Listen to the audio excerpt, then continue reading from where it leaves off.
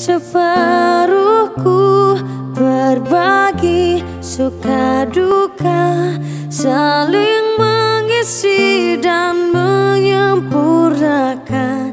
Karena kau separuhku.